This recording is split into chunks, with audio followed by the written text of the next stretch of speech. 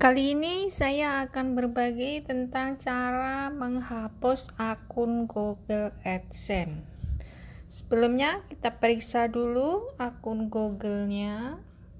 Di sini ya.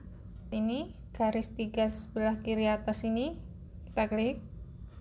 Kemudian kita klik ini akun. Kemudian akses dan otoritas ini kita klik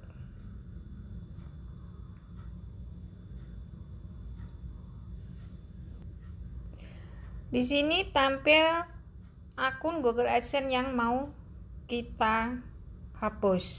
Ini ya. Nah, di sampingnya ini pastikan administrator ini dicentang. Ya. Jadi posisinya dicentang, oke? Dan kita kembali kita kembali ke sini akun ini.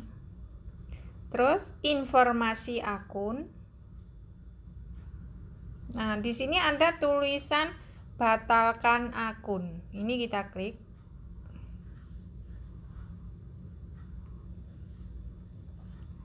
Oke, di sini ada penjelasannya bisa dibaca ya. Kemudian yang penting ini di sini ya. Saya memahami ini ada kotak kecil ini di centang. Ini. Nah, dicentang ya muncul kayak gini ini.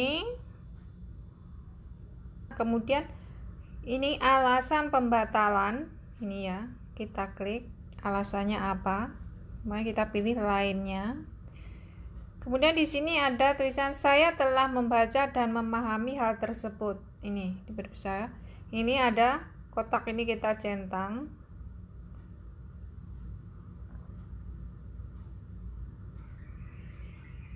kemudian kita klik di sini lanjut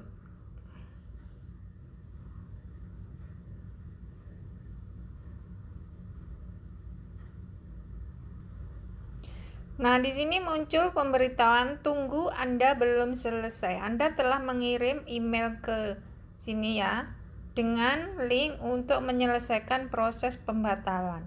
Anda harus membuka email ini dan mengikuti link tersebut dalam waktu 24 jam. Jadi kita buka ini email yang kita hapus ini aplikasi Gmailnya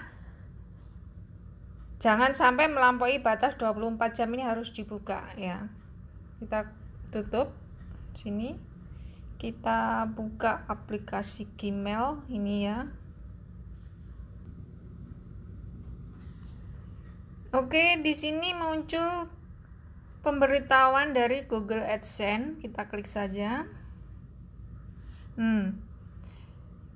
Yang terhormat, Anda telah meminta kami untuk membatalkan akun AdSense Anda secara permanen. Ini ini, ini ya. Oke, kemudian kita klik ini, tulisan yang biru ini.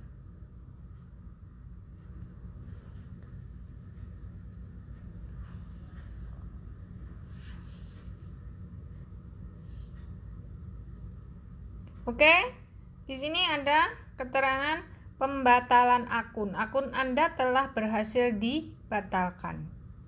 Oke, jadi sangat gampang ya.